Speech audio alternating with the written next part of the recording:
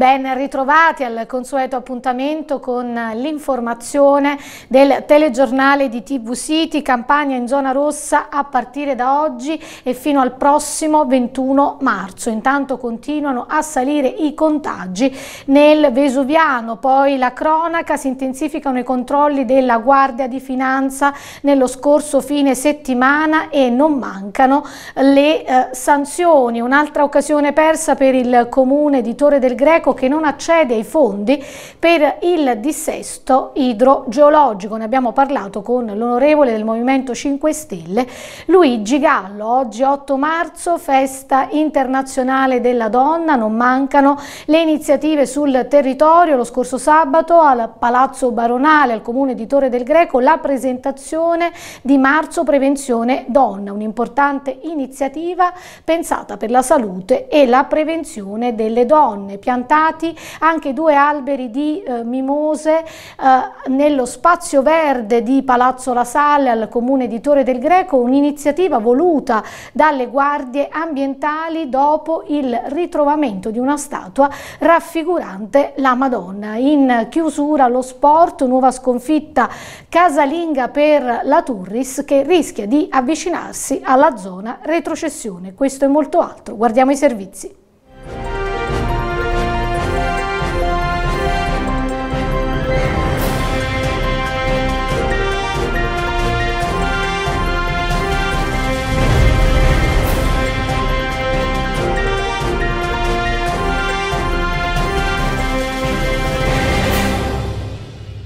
Campania in zona rossa da oggi. Entrano in vigore le nuove restrizioni annunciate venerdì dall'ordinanza firmata dal Ministro della Salute Roberto Speranza. Fino almeno al 21 marzo le limitazioni saranno le seguenti. Oltre al normale coprifuoco, divieto di spostamenti di qualunque tipo fra le 22 e le 5 del mattino. È vietato uscire di casa in qualunque ora del giorno, salvo per motivi di salute, lavoro o altre necessità, come ad esempio fare la spesa. Non sarà più consentito nemmeno andare a far visita ai parenti e amici come permesso in zona gialla o arancione. Le scuole resteranno chiuse, ma nella regione la sospensione della didattica in presenza era stata decisa già dal primo marzo con ordinanza di De Luca. È sempre vietato consumare cibi e bevande all'interno dei ristoranti e delle altre attività di ristorazione nelle loro adiacenze. Dalle 5 alle 22 è consentita la vendita con asporto di cibi e bevande. La consegna a domicilio è consentita senza limiti di orario. Sono sospese invece le attività di commercio al dettaglio, fatta eccezione per la vendita di generi alimentari e di prima necessità, come farmacie e tabaccherie. Una decisione drastica, ma necessaria, come ha commentato lo stesso governatore De Luca nella diretta di venerdì. Il presidente ha incolpato soprattutto i cittadini e gli assembramenti in piazze e lungomare di febbraio. Preoccupa l'incremento dei contagi. Negli ultimi giorni il rapporto tra positivi e tamponi nella nostra regione non è mai sceso sotto il 10%, con oltre 2.000 nuovi contagi al giorno. Si registra anche un incremento di terapie intensive e di decessi. Il timore è di ridursi alla situazione di quest'autunno. Critica la condizione dei comuni del Vesuviano. Solo nel weekend a Torre del Greco si sono registrati 103 nuovi casi di positività a fronte di 27 guarigioni.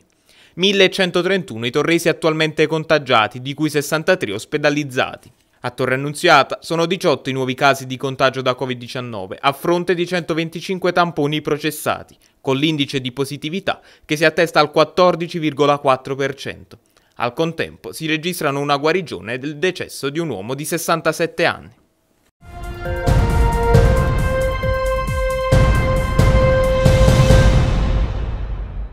Il Comando Provinciale della Guardia di Finanza di Napoli ha rafforzato anche in questo fine settimana, a ridosso del ritorno della campagna in zona rossa, il dispositivo dei controlli sulle misure anti-Covid.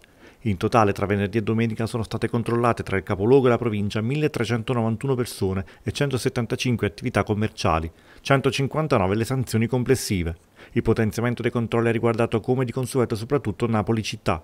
Il dispositivo composto dal gruppo pronto impiego e dal primo gruppo integrato dai rinforzi della compagnia di Torre Annunziata tra i quartieri San Ferdinando, Piazza Carlo III, Piazza del Gesù e Piazza Bellini hanno sanzionato decine di persone sorprese in strada senza un valido motivo e hanno sequestrato nel corso dei controlli, anche grazie all'ausilio di cani antidroga, hashish e marijuana a carico di tre responsabili. All'esterno dell'area portuale il secondo gruppo durante tutto il fine settimana ha sorpreso in piena notte in violazione del corpifuoco più di 40 persone provenienti dalle città della provincia. Inoltre lo stesso reparto, a seguito della segnalazione di alcuni passanti, è riuscito a trarre in salvo e a far trasportare in ospedale un uomo in mare in difficoltà nelle acque di Molosiglio.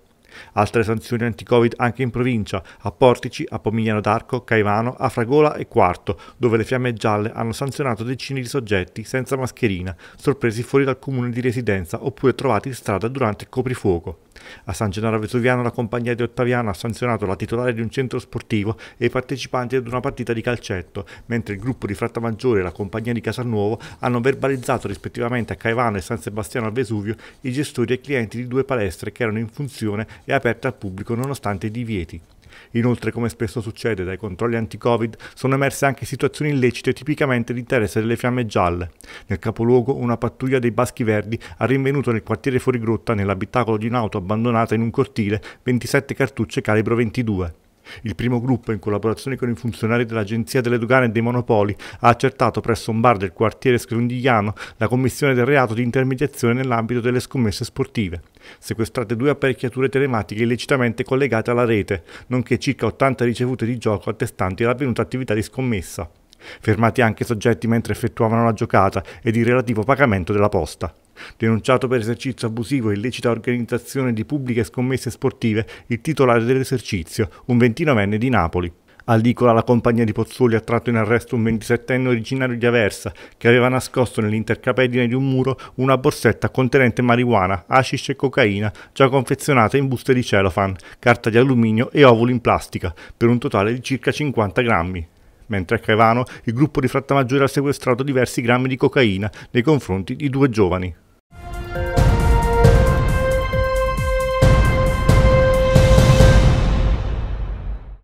Onorevole Luigi Gallo, ancora una volta il comune di Torre del Greco perde un'importante opportunità.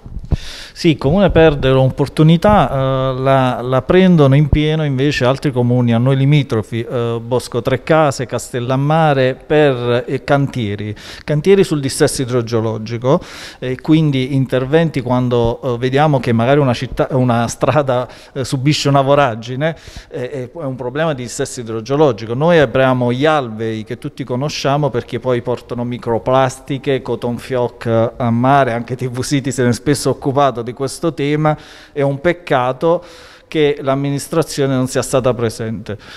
Devo dire che eh, anche la Gori è un problema per questa città, perché la Gori ha le informazioni che a volte la stessa amministrazione non riesce a ricevere. Su questo io ho collaborato con i dirigenti del comune a chiedere documentazione e la Gori è in forte ritardo a fornirla. Senza questa documentazione a volte non si possono fare i progetti, quindi ci vuole la collaborazione anche di questo pezzo purtroppo privatizzato della gestione dell'acqua che non, non aiuta la città.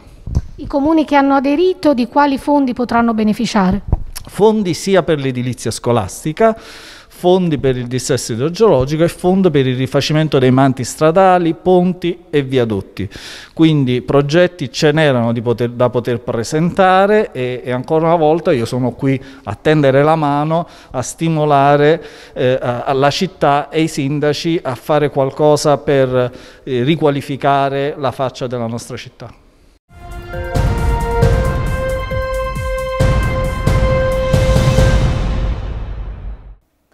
Sostenere e promuovere la prevenzione della salute delle donne.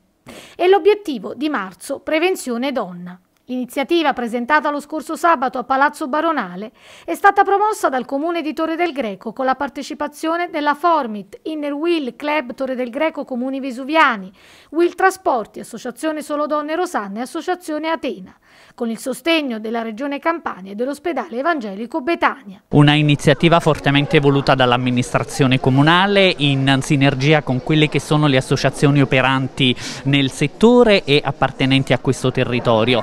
Come si vede la sinergia dà la possibilità di realizzare degli interventi a vantaggio della collettività, rientriamo in quella che è la mission proprio delle associazioni di volontariato, delle associazioni del terzo settore, della cooperazione sociale che si mettono mettono a servizio della collettività per dare delle opportunità.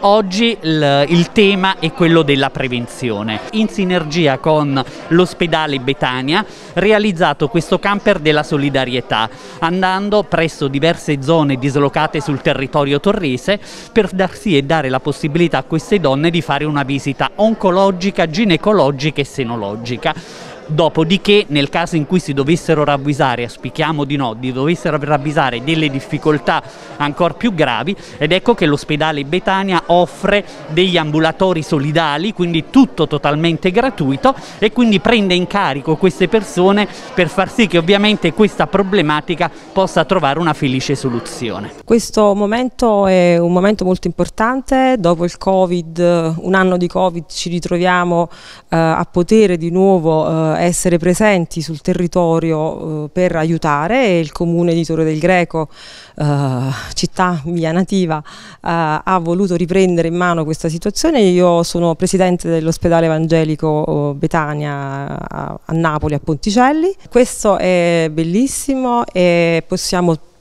oltretutto dire che noi eh, ancora di più come fondazione, che è il ramo con cui diciamo, noi eh, siamo proprietà dell'ospedale, riusciamo ad avere anche tutta una serie di opportunità a livello territoriale per poter dare aiuto anche attraverso altri progetti.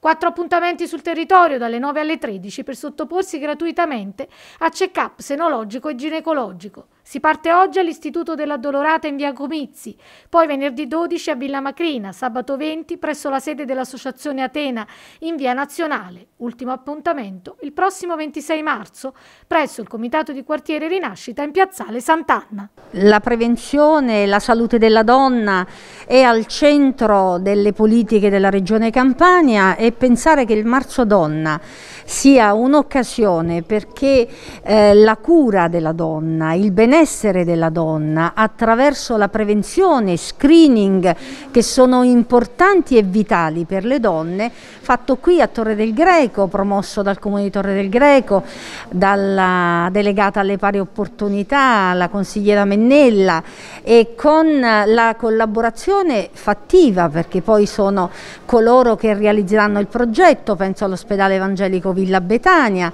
con la Presidente Vitiello mi sembra veramente un'iniziativa significativa per le, per le, donne di Torre del Greco e non solo. Oggi parliamo di salute e prevenzione, ma un tema particolarmente importante è anche quello della conciliazione dei tempi di lavoro e della famiglia per le donne, donne che hanno bisogno di sapere e di avere vicine le istituzioni.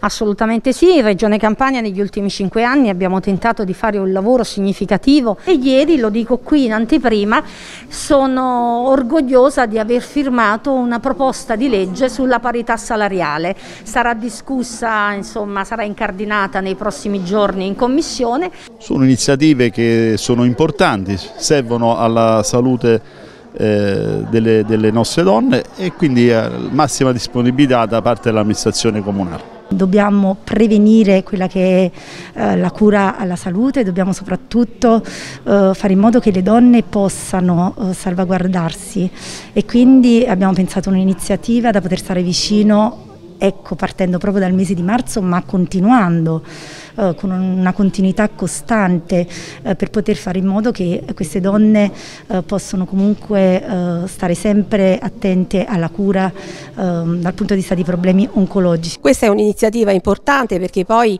eh, effettivamente in questo periodo di Covid, nell'anno della pandemia, eh, ci siamo trascurate come donne. Parliamo addirittura di un aumento del 30% dei casi di tumore al seno e questa è una cosa che ci deve spaventare. Quindi eh, coinvolgere le donne, ehm, farle sensibilizzarle alla tutela della propria salute è una cosa molto molto importante e approfittiamo di questo mese che è dedicato alle donne. Il comitato di quartiere eh, Rinascita aderisce a questa iniziativa iniziativa per aiutare non solo le donne nel nostro quartiere ma tutte le donne che hanno queste problematiche. Noi siamo sul territorio da circa 20 anni e, e quindi eh, ci occupiamo di eh, vittime di violenza, però abbiamo sposato questo progetto perché eh, oltre alla violenza c'è anche il problema della salute. Molte donne, soprattutto quelle vittime di violenza, non hanno possibilità economica di poter fare prevenzione e con questo progetto hanno una possibilità senza spendere un soldo di fare un check-up completo. Chiunque volesse eh, fare una visita gratuita lo può fare. Eh, chiamando la mia associazione e tutte le altre associazioni che partecipano in modo che eh, prenotando quel giorno e il posto potranno avere, usufruire di questo servizio.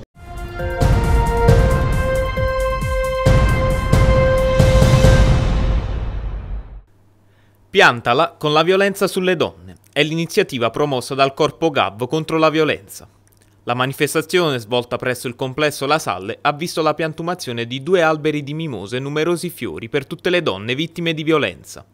I fiori ai piedi di una statua raffigurante la Vergine Maria ritrovata nei rifiuti dal presidente onorario del Corpo Gav, che è stata prima restaurata e poi posta nei pressi della tendostruttura. In occasione della giornata internazionale della donna abbiamo voluto dare un segnale, un qualcosa di prettamente simbolico piantando eh, appunto delle piantine per eh, abbellire il, eh, il, ritrovamento di questa Madonnina che appunto è stata trovata qualche tempo fa dal nostro presidente onorario Salvatore De Chiara tra i rifiuti ed è stata restaurata per volontà dell'associazione Corpo Gav dal maestro Fortunato.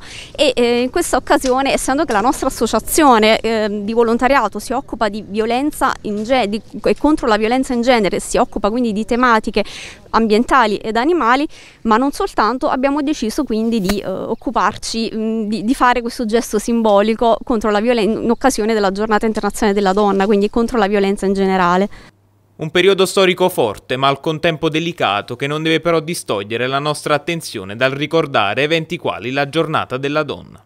Non dobbiamo uh, far sì che il periodo brutto, bruttissimo storico che stiamo vi vivendo oscuri poi tutto il resto, tutte le altre uh, manifestazioni che non devono essere chiaramente uh, anche soltanto virtuali, che non devono essere assolutamente tralasciate. Anzi, oggi più che mai la violenza è, è ancora presente, specialmente in questo periodo e coinvolge un po' tutte le fasce d'età, non soltanto, quelle del, eh, non soltanto il genere femminile purtroppo.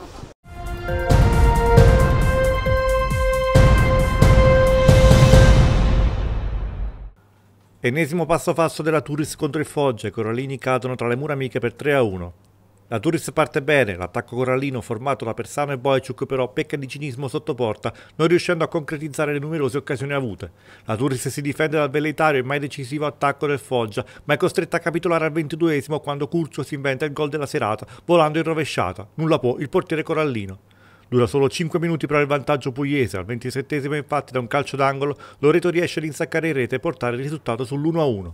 Nel secondo tempo la musica cambia, i corallini calano l'intensità e i rossoneri prendono campo. Sale la tensione e con essa anche gli errori, come quello che porta il corallino Lorenzini, già ammonito, a prendere il secondo giallo che lo condanna all'espulsione.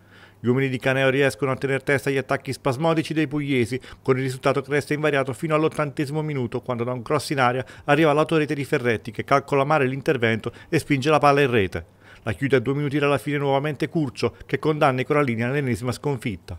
Ora la situazione in classifica per la squadra di Torre del Greco è pericolosa. Il vantaggio play-out si riduce sempre di più. Ora a 5 lunghezze dalla Turis che però non ha dalla sua il calendario che la vede protagonista di sfide ostiche, soprattutto nella fase conclusiva del campionato. Domenica prossima derby contro la Juve Stabia.